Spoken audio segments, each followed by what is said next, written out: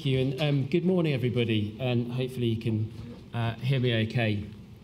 So, I'm, I'm David Nuttall, I'm the Deputy Director for Dementia and Disabilities at the Department of Health and uh, Social Care. And just uh, this will be a relatively um, brief presentation, which uh, I'm hoping will just talk a little bit about aims and ambitions for the um, 2020 challenge, a brief recap on the progress that has been made uh, to date, and then I'm going to talk a little bit, um, uh, as Rachel suggested, about the forthcoming review uh, and uh, say a little bit about how you can get involved um, in that as well. So a little bit of context and apologies. I mean, when you put the slides together, you're not completely certain of at what point in the agenda you're going to uh, appear. So some of this, uh, as I go through the presentation, you'll have already heard uh, this morning, and no doubt some of it will be said again um, over the course of the day. Um, so dementia, back in 2015, when the current challenge on dementia 2020 was being um, uh, put together and published, uh, dementia was already one of the top five um, causes of death in the ONS statistics, um, with around around 12% of all deaths attributed to, to dementia.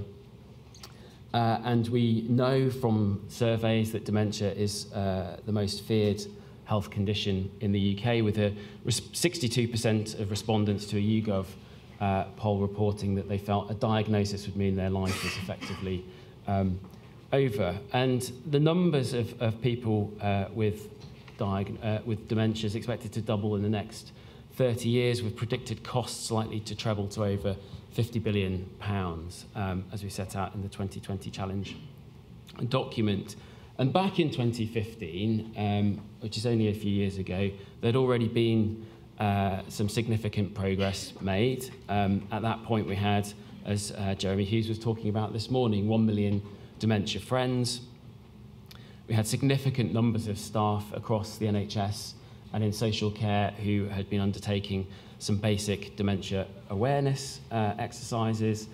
Uh, and the diagnosis rate back then was around uh, 6 in 10. So 6 in 10 of people estimated or thought to have um, uh, dementia had a formal um, diagnosis. But it was very clear that um, more needed to be done at that point. So in February 2015, the uh, 2020 Dementia Challenge was published, and uh, this was then, as it is now, a key priority uh, for government, a key priority to make significant progress on. And the vision of that challenge was to create a society by, where by 2020, every person with dementia, their carers and families uh, from all parts of the country could receive uniformly high quality and compassionate care from diagnosis right through to end of life uh, in, every, in every setting. And to oversee and uh, manage the progress, uh, we established a Dementia Programme Board, which brings together uh, all of the various partners um, who have a hand in delivering and making this a reality, uh, which comprises everybody from government departments, arm's length bodies, uh, such as NHS England, um, we just heard from Xanthi, uh, the third sector, Alzheimer's Society, other organisations, the research bodies, industry. So a huge number of organisations that have a really key role and key and critical role uh, in making the challenge a reality, brought together in a group which is chaired by our Minister Caroline Dinenage to make sure that we are overseeing uh, progress and pushing things um, uh, forward.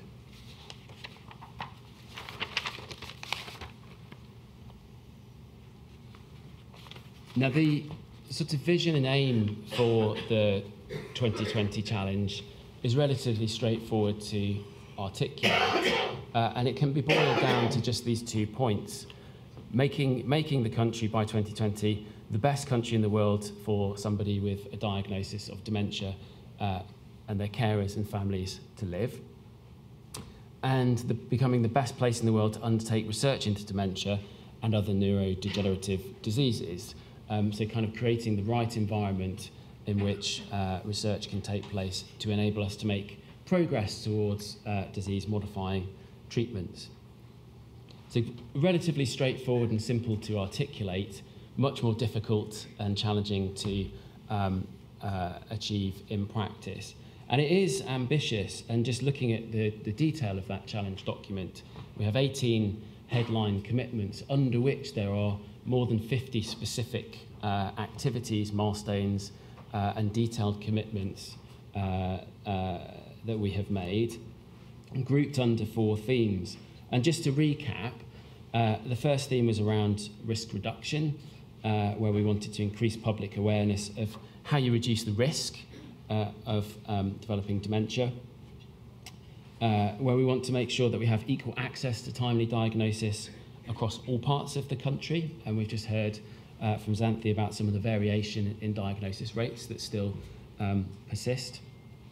Under the health and care theme, GPs playing a leading role in, co in continuity, ensuring continuity of care. Uh, we want there to be meaningful care following a diagnosis in line with the NICE guidance, which we again heard about this morning. Appropriate training for all staff uh, that are involved in care for people with um, a diagnosis of dementia. And we want to see dementia friendly hospitals and care homes, and again, that should be all of them. Within, within the theme of awareness and social action, uh, we had a commitment to create an additional 3 million dementia friends. Um, so uh, in 2015, we had 1 million. We heard from Jeremy earlier that we've achieved 2 million dementia friends, um, but we have quite a long way to go to get the additional 2 million to fulfill the commitment by 2020 increasing dementia-friendly communities as well, uh, making places uh, able to support people with dementia in all of their uh, day-to-day -day activities. As part of that, businesses should be supported to become dementia-friendly, uh, and both local and national government would play quite a key role in ensuring and supporting that awareness raising. And then in the final theme, um, a number of um, specific objective commitments against research and funding making UK the best place for dementia research, doubling the funding by 2025, uh, establishing the UK Dementia Research Institute, which again we've heard about.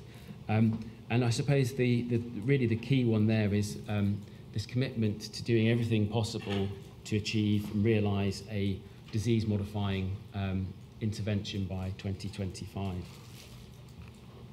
So again, a very simple uh, and easy to articulate vision very ambitious with a lot that needs to be achieved to actually bring that to life. So following the publication of the challenge in, 20, in February 2015, we then issued the implementation plan the following year. Um, and this details how the challenge will be met in, in, in some detail.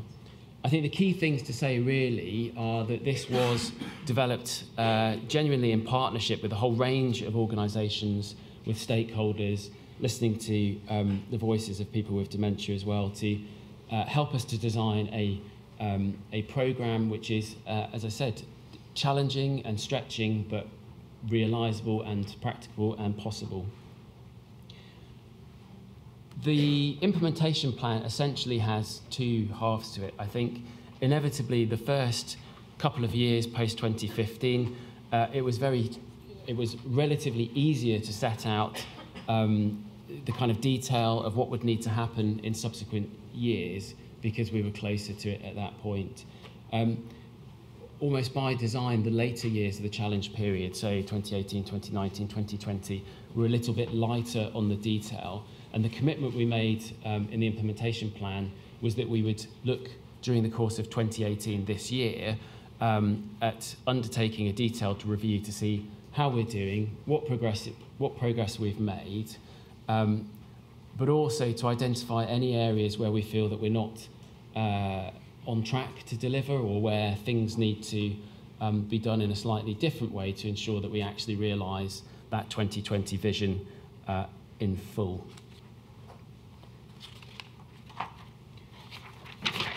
Uh, and I think our assessment is that we are making good progress um, and the, the Dementia Programme Board, which meets quarterly, uh, monitors the data and has a look at what is happening. And we do see um, positive indications. Um, the, the diagnosis rate has been consistently above um, the ambition that was set of two thirds, and, and uh, you've just seen the data to, to demonstrate that.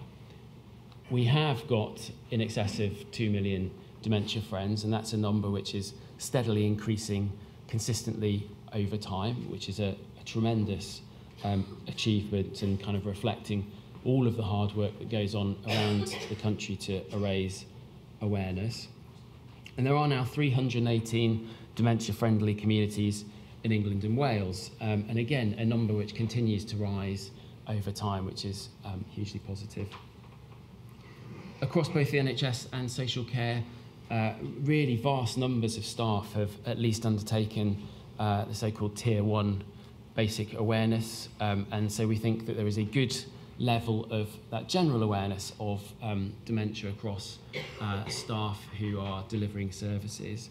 Um, in order to realise the ambition that all staff who are dealing day to day with people with dementia have uh, all of the requisite skills, then the, clearly there is some more still to be um, done on that front.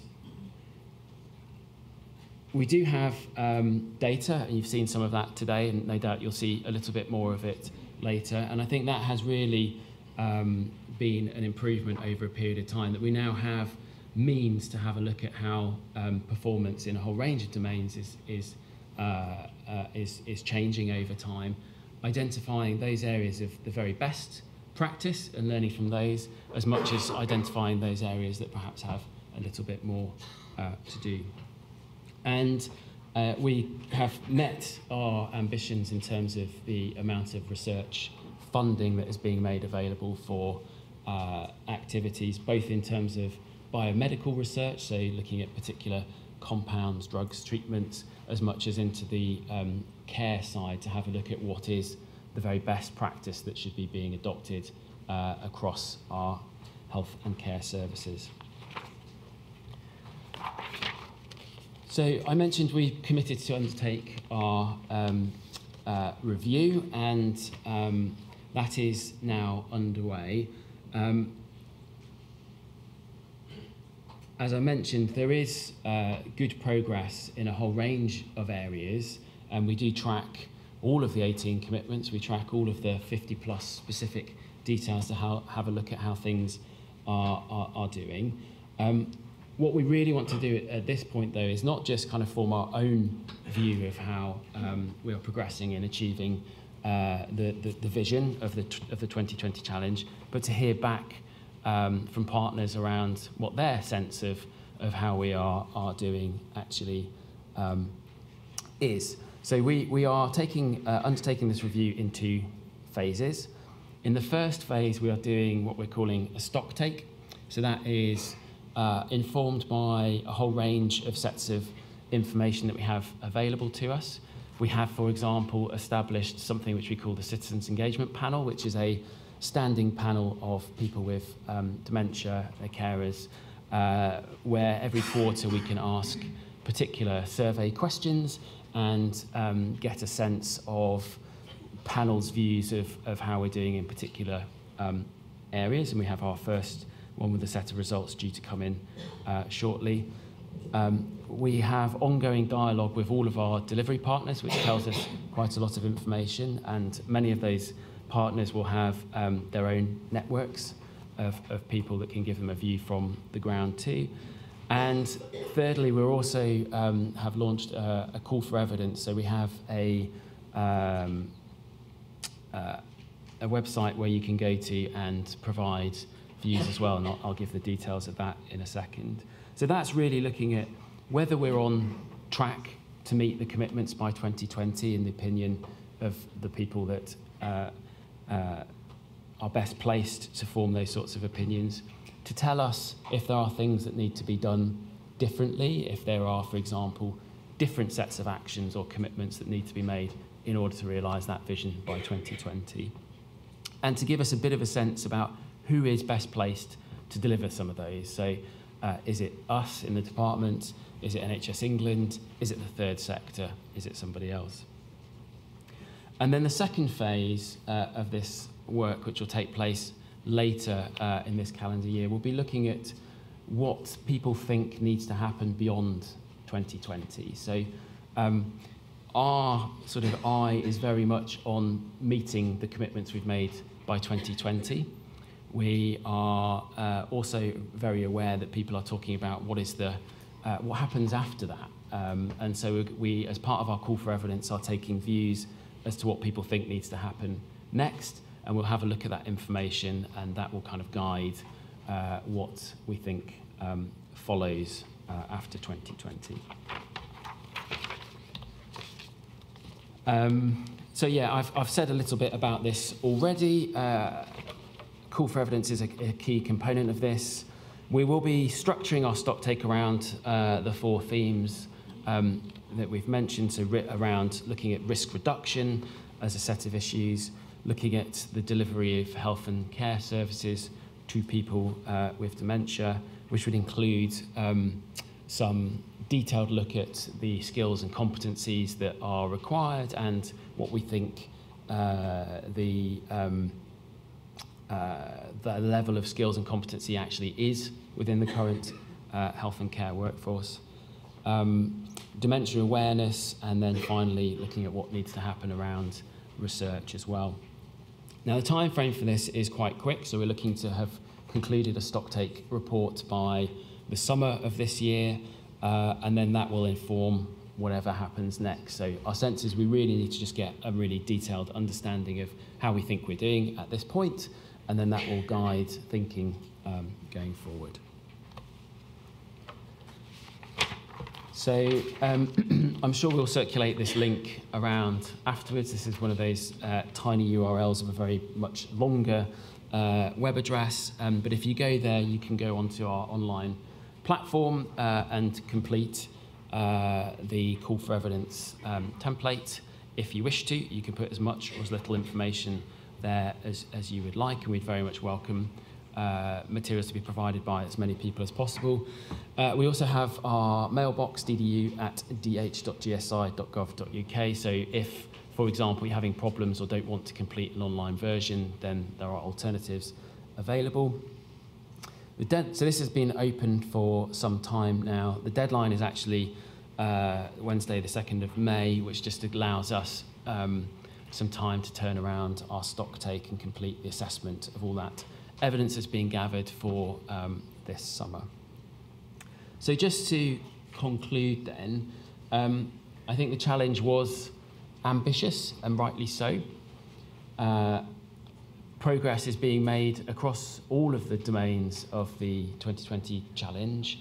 I think that is is very clear. Um, equally, there are some are some areas where uh, there remains uh, progress to be made, um, and that's probably the nature of a program which runs through to 2020 as well.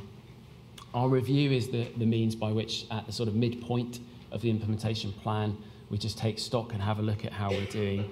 Um, and obviously, that shouldn't be just our view of progress, it needs to be your view as much as anything else. So I would encourage everybody to um, use our website or contact us and provide that information.